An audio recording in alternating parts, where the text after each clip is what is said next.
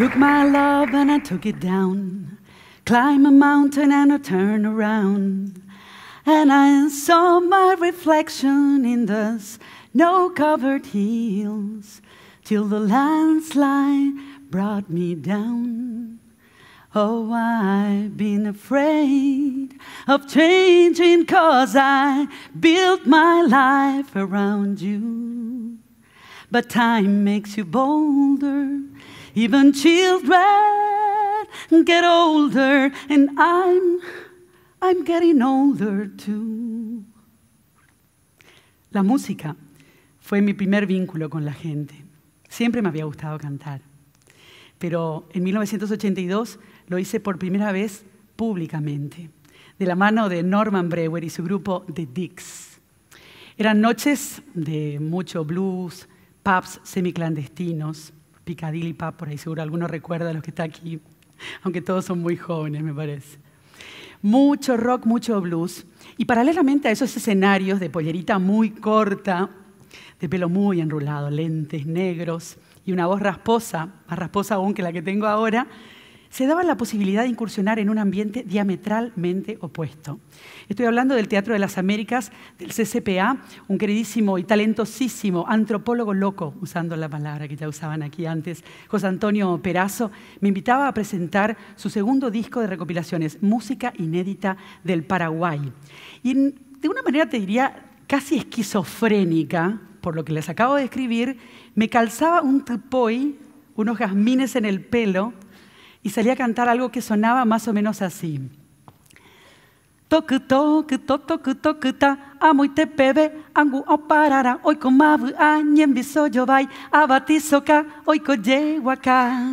Y esto se daba paralelamente. Esto yo un día estaba de rockera, queriendo parecerme a Janis Joplin, y al otro día saltaba al otro escenario, y ahí estaba de paraguaya, empezando a sentir lo que era parte de una identidad. ¿Cómo olvidar a la música? La música que me permitió que se abriera esa primera puertita para empezar a andar este fascinante camino con la gente que ya lleva 32 años. Estar acá esta noche solo es posible gracias a la fidelidad de la gente que me permite seguir vigente. Y por supuesto, cuando me invitaron a hacer un rápido recorrido por todo este tiempo, han pasado muchos años, dije, bueno, el único objetivo de esto, de estar acá, es rendirle un homenaje a la gente que me ha permitido aprender y crecer dándome horas de su tiempo y de su talento. Y también un homenaje a quienes han sido destinatarios de todo este trabajo hecho bajo unos requisitos de estricta honestidad intelectual y emocional que están fuera de toda razonable duda. Si alguna vez tienen que calificarme de alguna manera, digan que soy una entusiasta irredimible y que creo firmemente en la construcción de la alegría. No en esa cosa pasajera que va y viene, esa cosa que no perdura, esa cosa que solo cascarita. No, en eso no. En lo otro, en lo que nos ayuda a cambiar la calidad de vida de la gente. Y han pasado muchos años, y en ese mismo año, 1982, yo arrancaba en la televisión. Y de una manera absolutamente impensada. Yo les puedo jurar que no tengo ningún antecedente en la familia de alguien que haya hecho algo parecido a lo que yo terminé haciendo. No se me había pasado por la cabeza hacer televisión. Y me convocan nada más y nada menos que para hacer un programa de deportes. ¿Qué sabía yo de deportes?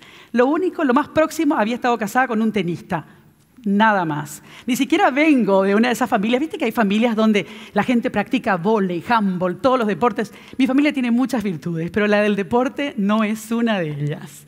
En el colegio tenía terror cuando me metían en, las clases de volei, yo me, escondía así porque tenía terror de la pelota.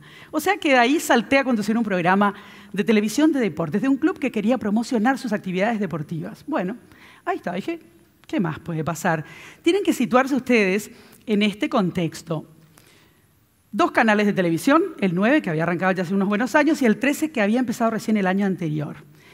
No había internet, no había redes sociales, gracias a Deus. si no, mi carrera no hubiera durado dos días. Bueno, además a lo sumo, vos podías agarrar una buena virulana, y muchos de los que están acá seguro se acuerdan, enganchabas en la antena y cachabas Canal 11 de Formosa. Y eso era todo lo que podíamos ver. Si no habías salido, si no habías viajado, ¿con quién te iban a comparar? O sea, era el escenario perfecto para esta gran osadía me lanzaba total. ¿Qué podían decir? Mira esa chica qué estupidez está haciendo. No, porque no había con quién compararte. Estábamos todas niveladas en lo mismo. En ese mismo momento, ¿qué cosas pasaron en el 82? Yo agarro y decido que quiero estudiar. Había pensado en ser ingeniera, como mi mamá, a los 17 años. Esa idea había quedado atrás. Entré a la católica, me metí a administración de empresas y también ahora hace un ratito creo que fue Patti la que dijo que se aburría soberanamente, me pasó exactamente lo mismo, dije, ¿qué estoy haciendo acá? Y rajé rápidamente, me fui a filosofía para terminar el año siguiente a hacer psicología y dedicarme a la comunicación. Como verán, mi vocación no era una cosa así muy clara, una cosa que uno diga, bueno, esta chica tiene claro qué quiere hacer. No, lo mío no fue así.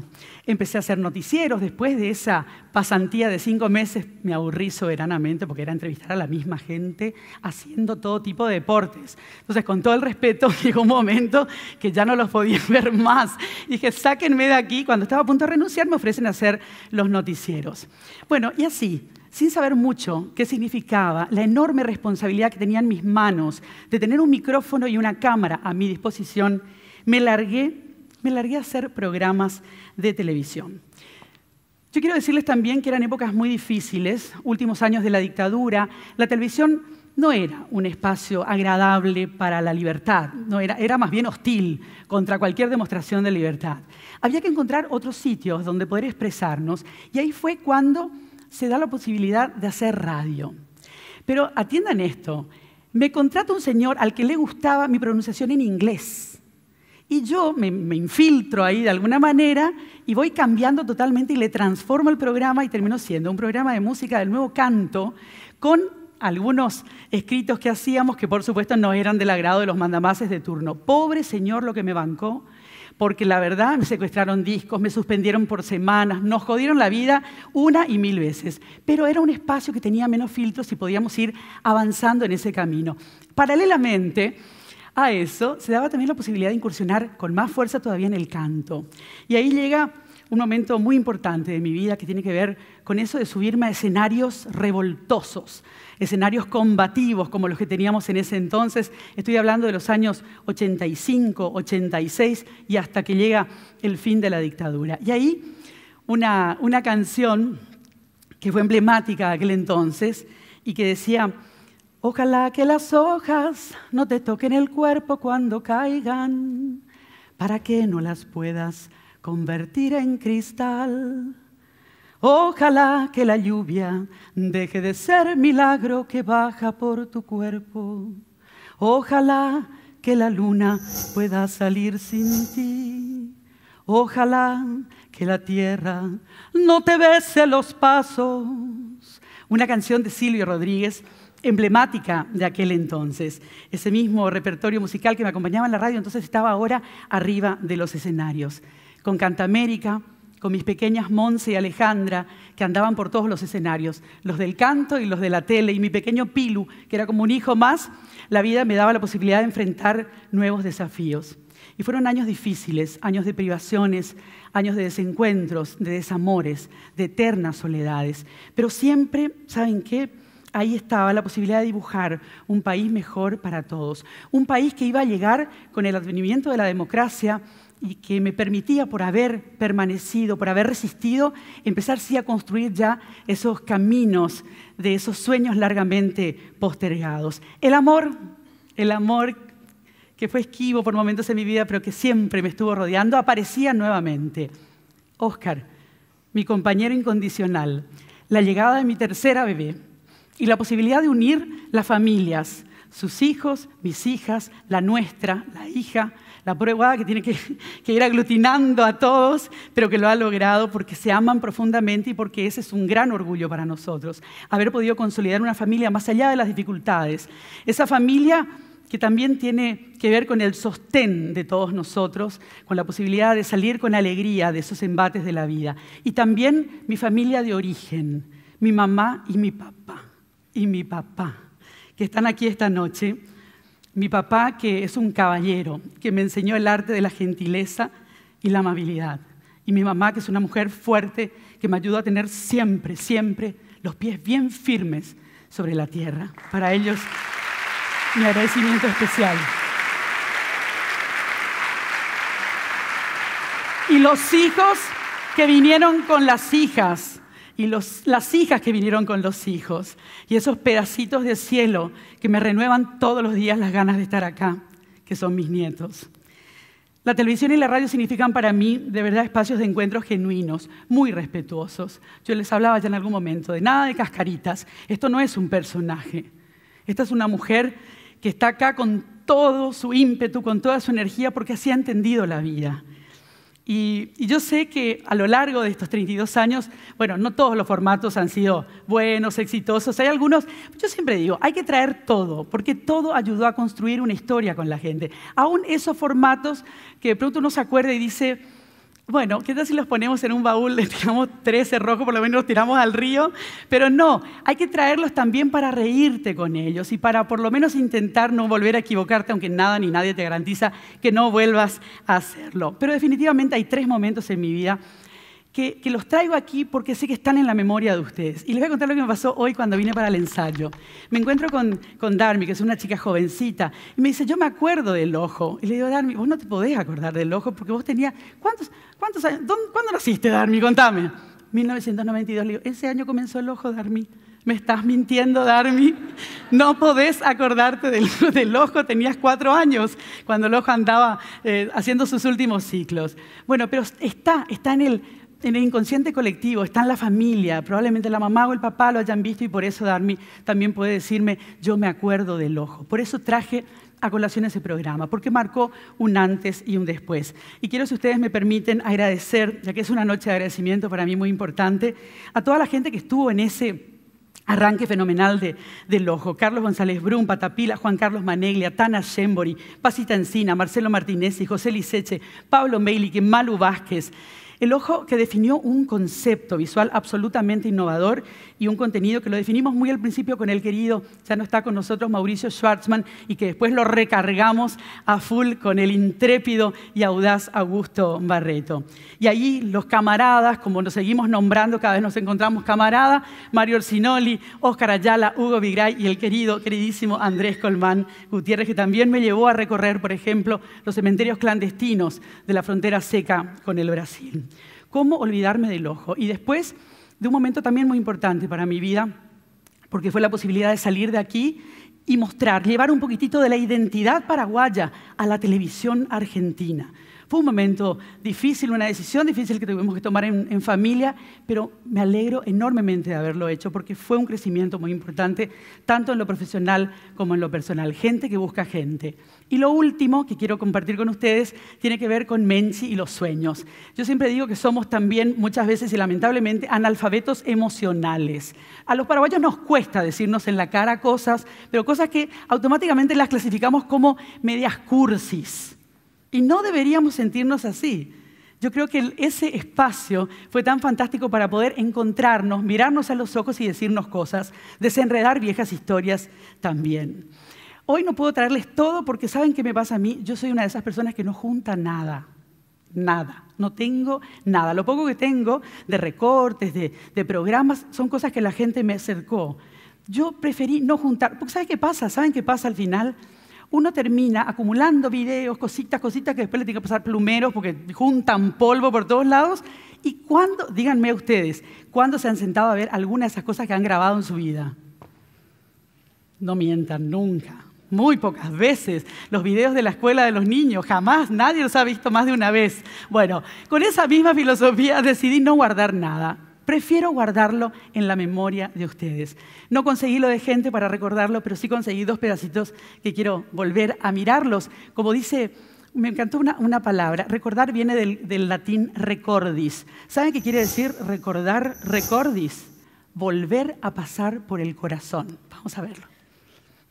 El Banco Central del Paraguay sabía, al menos desde 1989, la crítica situación del sistema sin embargo, no hizo absolutamente nada por evitarlo.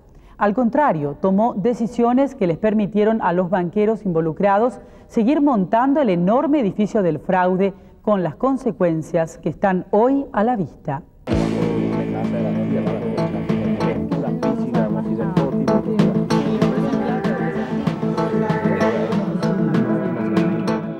Las irregularidades cometidas principalmente por el Banco General y el Banco Par pudieron ser realizadas con la vista gorda de las autoridades monetarias, ya sea por omisión, negligencia o complicidad.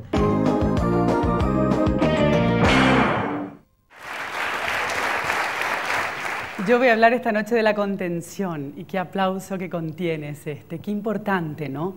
Sentirnos contenidos cuando las situaciones que se nos presentan nos hacen perder el rumbo o el equilibrio. Saber que ahí está el otro, atento a nuestras necesidades, a nuestras inquietudes, atento para darnos una mano. Que se vaya diluyendo esa terrible cultura del no te metas para dar paso a la cultura de la solidaridad. Es ahí cuando como sociedad nos sentimos vivos.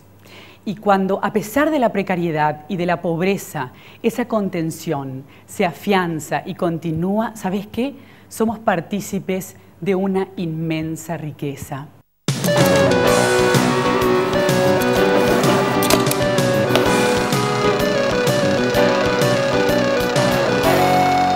Cada momento, un sentimiento poco de alma y corazón. Cada palabra, cada mirada es como un guiño a la ilusión. Es la osadía de la alegría en un pedazo de canción. Es como un beso y más que eso, es un abrazo a la emoción. Que me quieras, ¿se acuerdan? y me lo hagas sentir, que me toques el alma, soltándote las ganas de vivir. ¿Cuántas veces la cantamos? al querido Augusto Barreto. Aquí quiero mencionar a tres personas en particular. Augusto Barreto con la música, a Vicky Ramírez, que es una genia de la producción, que de esa cantidad de cartas que recibimos fueron más de 100.000. Ella agarraba una de las cartas y la convertía en algo gigantesco, grandioso. Era un hermoso sueño, pero ella podía darle muchísimo más vuelo. Y al gran Marcelo Martinezzi, que le daba magia a cada uno de estos encuentros. Creo que si hay algo que puede ser un distintivo mío, eh, por supuesto no en exclusividad, pero con particularidades, es mi sonrisa. Y ustedes lo pudieron comprobar. Como dice la querida Clara Franco, ahí se llama cuántos pañales pude comprar gracias a vos. Y yo le tengo que agradecer a la fantástica Clarita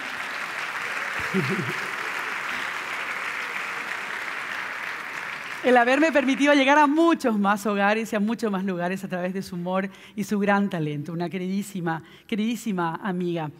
Y además, bueno, están esas otras particularidades que, Clara las explotó muy bien, como el hola familia y el, el beso soplado y los hillos, los encuentrillos y todo ese tipo de cosas que, que bueno, que surgieron y que, que, a mí de verdad me hacen mucho, mucho bien cuando las vuelvo a escuchar y cuando me encuentro en la calle con la gente o cuando aparecen memes en las redes sociales y ahí estoy yo de vuelta. Siempre tratando de actualizarme, chicos. Bueno, y hoy, eh, además de rescatar eh, esa cosa de la gentileza y de la amabilidad, creo firmemente en eso. Creo que la sonrisa es un gran derribador del pirebaí nacional. Y cuesta, ¿eh? No puedo decir que haya sido exitosa mi participación en un 100% para derribar el pirebaí. Es difícil. Hay gente que ha decidido alargar la cara y seguir así por la vida pero no me resigno nunca a robarle una sonrisa a ese que tiene el corazón más duro. Y lo he logrado, ¿eh? y tengo así como en un pedestal esos momentos de mi vida. Y hoy aquí, frente a ustedes, vuelvo a rescatar todo eso y agradecerle a la vida la posibilidad que me ha dado de compartir en medio de la diversidad, en medio de la diversidad, un sentido de identidad. Estoy absolutamente convencida que incluso en momentos muy difíciles de mi vida, que no me arrepiento de haberlos elegido. Ahí estuvieron ustedes para contenerme y para protegerme. Mi mamá siempre me decía eso, en la época del ojo. A vos no te matan, chiquilina, porque la gente te protege. Era así, así de contundente. Y, quiero decirles la verdad, eh, cuando uno genera esto, que yo quiero transmitirles esta noche, es una sensación de un regocijo muy particular, muy especial. A veces no me alcanzan las palabras para poder describirlo, pero creo que ha sido sumamente importante para repetir esta historia todos los días y también, ¿saben qué? Como un instrumento, como un antídoto importantísimo contra lamentablemente eso que abunda en este ámbito, que son las vanidades y el egoísmo, están muy acentuadas. No se puede estar siempre arriba, no se puede estar siempre en la cúspide. Esos vaivenes, esos altibajos siempre son buenos. Las equivocaciones siempre nos enseñan. Definitivamente la euforia sola, la euforia sola no construye. Es buena, agarrar algo de eso, pero trata de alejarte, no sea que te emborraches, te embriagues y creas que ya sos invencible y que alcanzaste la gloria. Nada más torpe que ese sentimiento, nada más efímero y pelotudo mi mamá me aprendió, me, enseñó a usar bien las palabras fuertes también. Me acuerdo, y esto rápidamente les cuento, me acordé ahora.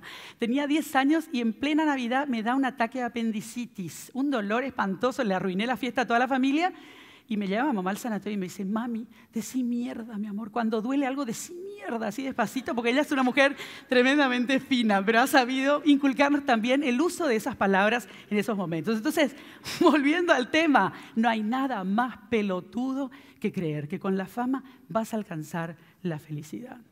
Por eso hablo de construir la alegría y defenderla. Y quiero traer unas palabras del gran Mario Benedetti que dice, defender la alegría como una trinchera, como un principio, como una bandera, como un desafío, como una certeza, como un derecho. Defender la alegría de la propia alegría.